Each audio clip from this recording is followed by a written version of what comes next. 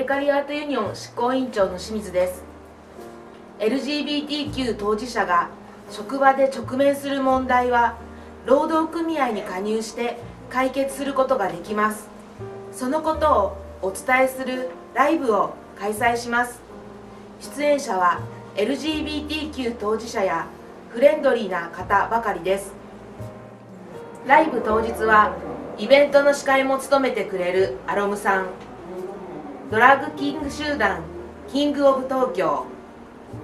また音楽のライブは今年メジャーデビュー21周年を迎え先日メジャー期の10作品がサブスク解禁になったことでも話題を集めたシンガーソングライターのカブさん。そしてハンサム・ハンジさん率いる個性派集団のハードコアジャズバンドゴリラ人間ズの出演が決まっています。ゴリラ人間ズのベースは私たちプレカリアートユニオンの初期長の稲葉さんが務めています。